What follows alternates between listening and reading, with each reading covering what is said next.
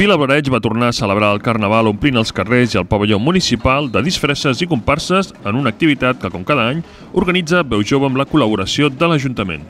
La cercavila va sortir a les 4 de la tarda de la plaça del Parelló per enfilar diversos carrers del poble. A poc a poc, la cercavila va anar guanyant veïns fins a arribar al pavelló municipal on els esperava l'espectacle infantil.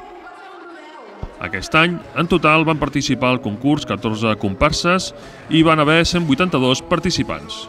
Uh, molt bé, uh, des de Veu Jove estem molt contents perquè cada any la gent s'ho treballa més, les disfresses són cada vegada més espectaculars, sobretot el tema comparses, cada vegada hi ha més gent que hi participa i creiem que és un dia molt especial.